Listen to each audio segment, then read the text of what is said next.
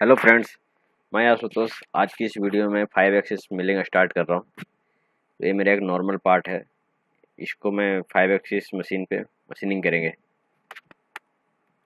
इसमें इंडेक्सिंग के द्वारा और इस जो एंगल है, इसको ना तो हम थ्री से करेंगे और ना ही एचएसएस से. इसको हम टू डी प्रोफ़ाइल ऑपरेशन से स्टेपर को बनाएँगे फाइव एक्सिस मशीन पे.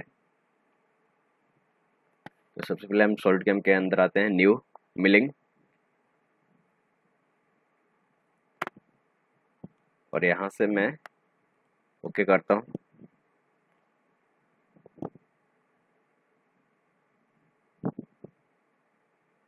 उसके बाद मशीन सिलेक्शन यहाँ मैंने D M G five axis machine select करते हैं यहाँ पे। और उसके बाद कोऑर्डिनेट सिस्टम यहाँ पे top centre of model box इस पर सेलेक्ट किया। सेंटर में कोऑर्डिनेट बन गया एक। उसके बाद इसको ओके कर देते हैं ऐसे।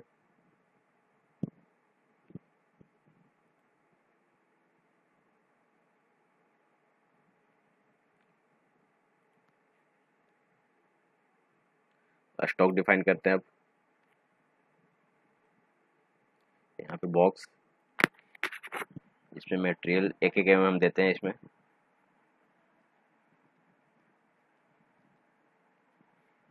एक एक एम हर जगह मटेरियल है। और नीचे की तरफ़ ज़ीरो है। उसके बाद ओके करते हैं यहाँ से। फाइव एक्स में सबसे ज़रूरी चीज़ है, वो है मशीन सेटअप। तो अभी हम देखना चाहते हैं कि हमारी जो जॉब है, वो मशीन पे किस तरह लगा हुआ है। तो हम क्या करेंगे, यहाँ सेटअप पे जाएँगे, राइट क्लिक, सिमुलेट, और उसके बाद मशीन सिमुलेशन। ये मशीन सिमुलेशन जब भी दिखाएगा, जब मशीन सिमुलेटर हमारे पास होगा। उसके बाद मशीन सिमुलेशन करते हैं।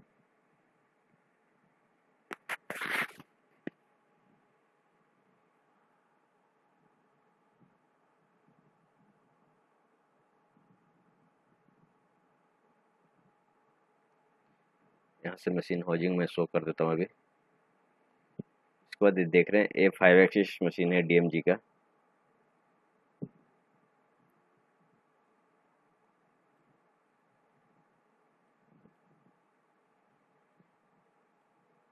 इसमें जेड एक्सिस है। ये एक्स एक्सिस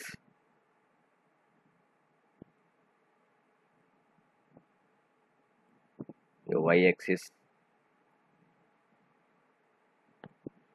और ये लेफ़्ट डोर ये राइट डोर और ये बी एक्सिस और इधर है सी एक्सिस यहाँ पे। ये सी एक्सिस है। तो अभी इसमें आप देख रहे हैं, जो पार्ट है हमारा, वो बेड के अंदर घुसा हुआ है। तो बेड पे सही से रखने के लिए हम क्या करेंगे, हम इसको क्लोज करेंगे। और यहाँ राइट क्लिक सेटअप पे करेंगे, एडिट। और उसके बाद जॉब की जितनी भी हाइट होगी वहाँ हम जेड में यहाँ पे प्लस में वैल्यू देंगे। इस जॉब की हाइट सौ एम है। देख रहे हैं यहाँ पे तो मैंने सौ यहाँ पे डाल दिया। उसके बाद ओके। अब हम यहाँ पे सिमुलेट, मशीन सिमुलेशन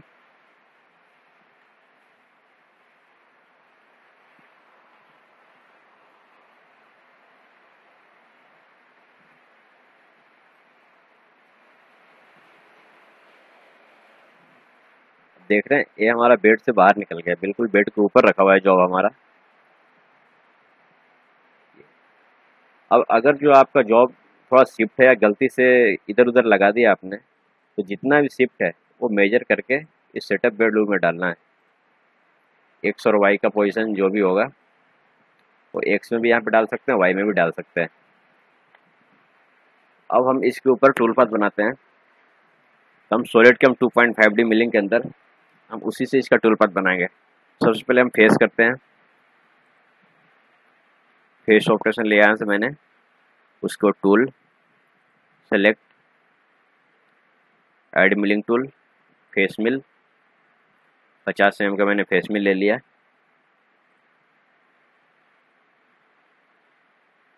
उसको लेवल एक एम बाय स्टॉक ले लिया इसने।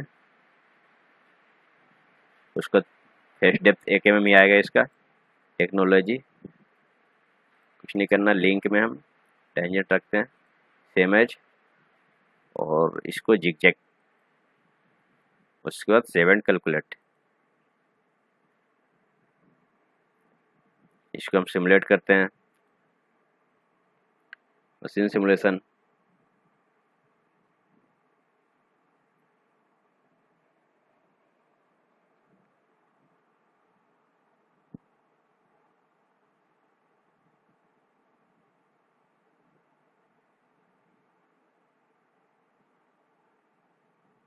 से मैं मशीन हाउसिंग हाइड कर देता हूँ।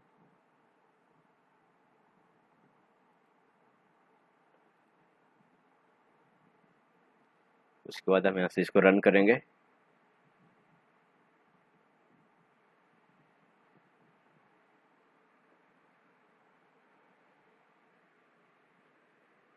थोड़ा वेट कीजिए चलने चालू हो गया।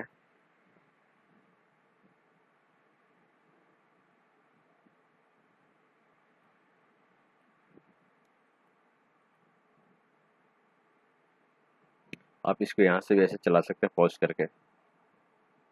ये स्क्रॉल बटन को आप नीचे ऊपर घुमाएँगे तो यहाँ से भी चलेगा। बीच में इसलिए नहीं दिखा रहा है क्योंकि खाली दिखा रहा है क्योंकि मैंने होल्डर डिफाइन नहीं किया यहाँ पे। होल्डर डिफाइन करेंगे तो यहाँ पे होल्डर भी आएगा।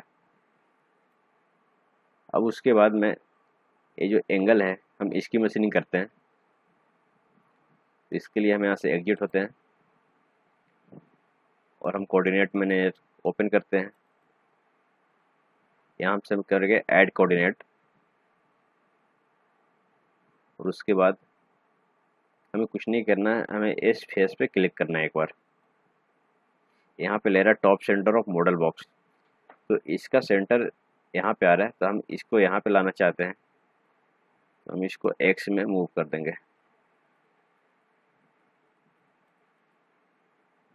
बिल्कुल यहाँ पे आ गया है। और वहाँ पे नहीं करके हमें किसी कॉर्नर पे लेना है। तो हम यहाँ से करेंगे डिफाइन और यहाँ से हम करेंगे ऑर्गिन कहाँ पूछ रहा है। हमें यहाँ रखना है तो हम ऑर्गिन यहाँ ले लेंगे। उसको एक्स की डायरेक्शन इधर और वाई की इधर। अभी जेड हमारा नीचे की डायरेक्शन में जा रहा है तो हम इसको फ्लिप करेंगे। फ्लिप अराउंड वाई अब जेड ऊपर हो गया। अब ठीक है, उसके बाद ओके कर देंगे यहाँ से।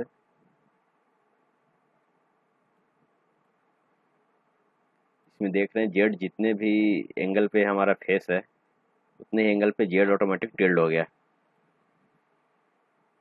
आप फेस सिलेक्ट करेंगे तो भी टिल्ड हो जाएगा। इसको नॉर्मल टू करके देख सकते हैं यहाँ से। उसके बाद हम यहाँ से प्रोफ़ाइल ऑपरेशन लेते हैं। यहाँ से मैं coordinate select Mac one position to new geometry ये ज्योमेट्री लेते हैं यहाँ से, इसको नो ओके टूल सेलेक्ट हम वही फेस मिल ले लेते हैं। फेस मिल से इसको एक बार में कटिंग कर देंगे। उसका लेवल यहाँ पे हम बाय स्टॉक करेंगे। ऑटोमेटिक अपर लेवल ले लेगा। उसके बाद प्रोफ़ाइल डेप्थ हम इस फेस पे क्लिक कर देंगे। ओके उसको टेक्नोलॉजी अंदर हम देखेंगे। कटर लेफ़्ट राइट हमारा राइट करना पड़ेगा। ओके यहाँ पे जिग जैक लिंक यहाँ पे टेंजेंट सेम एज उसके बाद सेवन कैलकुलेट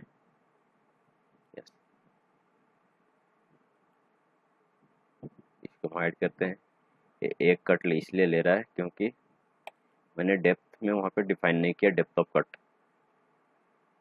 हम एक कट में ये भी करके देखते हैं। सिमुलेट मशीन सिमुलेशन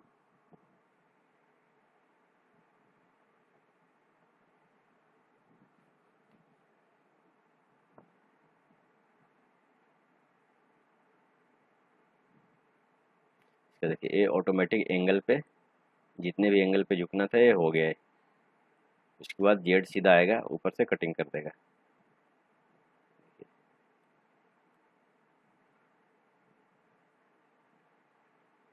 इस तरह से, इसमें हम डेप्थ देते हैं।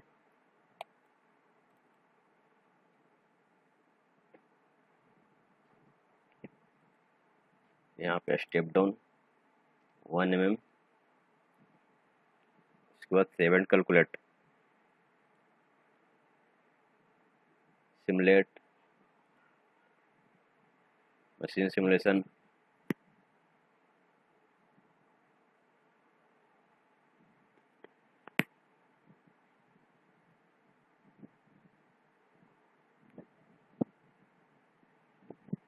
यहाँ से रन करेंगे.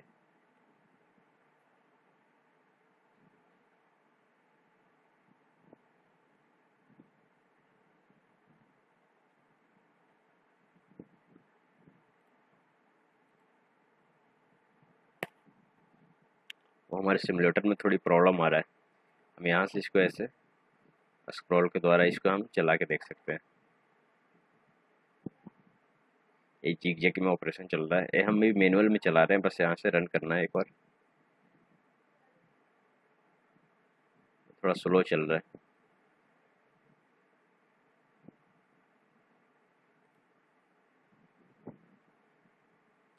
फाइव एक्सिस में किसी भी एंगल पे कभी भी मतलब टू ऑपरेशन से भी कई बार थ्री का काम कर सकते हैं। अब इसमें ये चारों साइड की मशीनिंग कर सकते हैं तो उसके लिए यहाँ पे कोऑर्डिनेट मैनेजर एक और कोऑर्डिनेट ऐड करके जिधर भी काम करना है।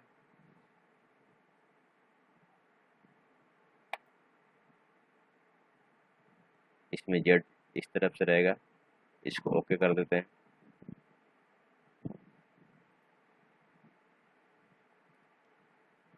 और भी कहीं पे ऐड करना है कोऑर्डिनेट उसके लिए यहाँ पे हम कर लेते हैं।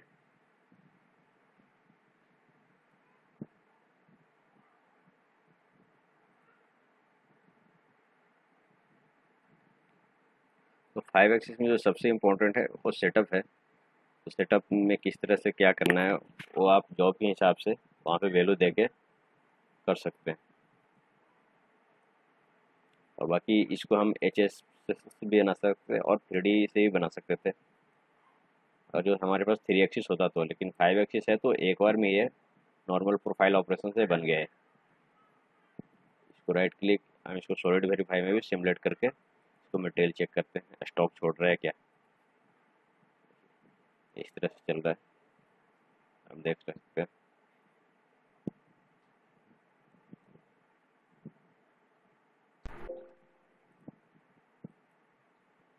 बिल्कुल ज़ीरो वन, दस माइक्रोन प्लस छोड़ रहा है यहाँ पे। यहाँ पे ग्रीन, यहाँ पे ज़ीरो वन।